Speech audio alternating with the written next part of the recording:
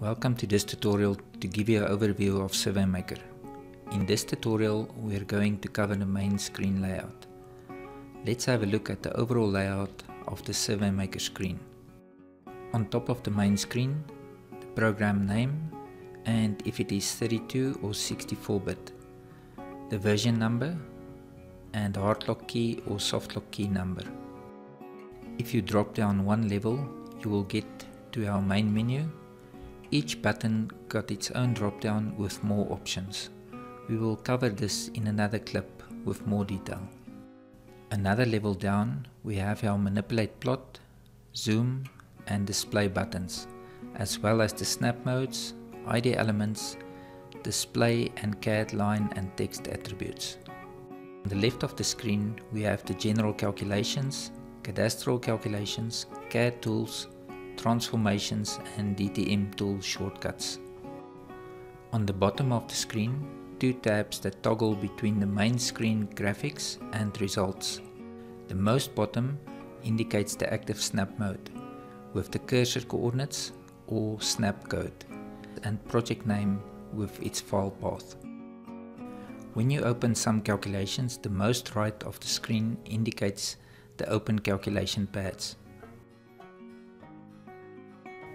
Toggle the tabs at the bottom to switch between the calculations.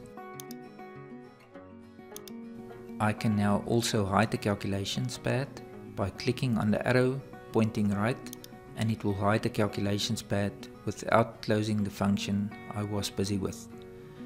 To recall it, just touch your mouse on the right hand side of the screen and it recalls the calculation pad and you can continue calculating.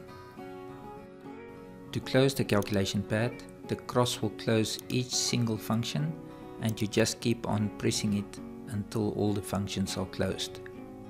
That's the layout of SurveyMaker. Let's look a bit deeper. The main screen when you open the program. The display on the main CAD screen consists of CAD and DTM points. The CAD can be drawn with the SurveyMaker CAD functions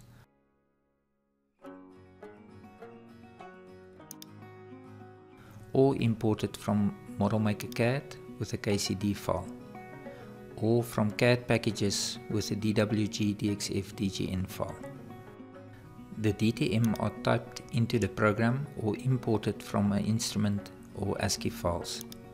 Single points can be added with points add on the graphic screen.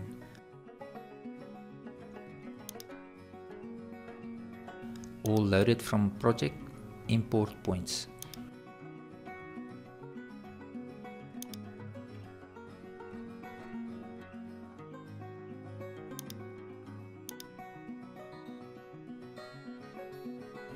Or in the dataset file and then choosing the file type to open.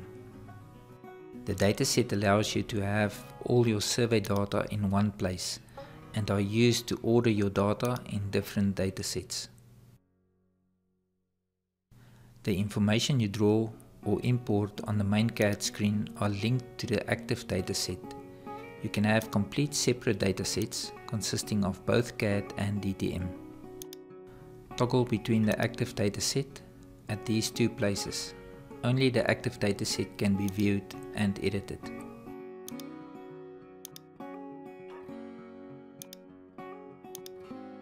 The one dataset can be coordinates typed in the data function from a diagram or paper and the other dataset based on survey points imported into SurveyMaker. Let's look at the cadastral function. F6 the erven file tool. With this tool we set up the erven file that contains the data we need for the cadastral or sectional title function. In here we define our main figure, erven, sections, block corners, etc. Cadastral plan.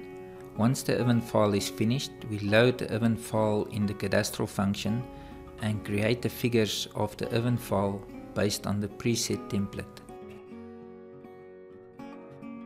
F8 sectional title works the same as the cadastral but with its own unique erven file.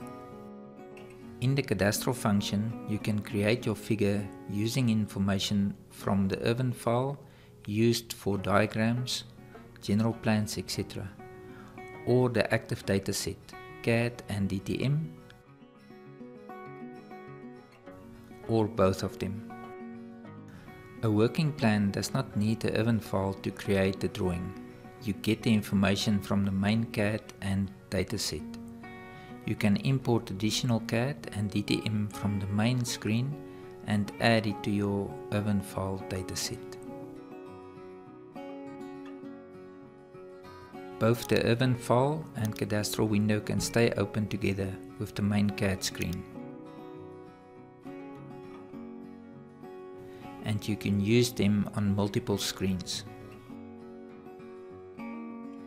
Have a look at these links for additional training clips on the topics as discussed in this training clip.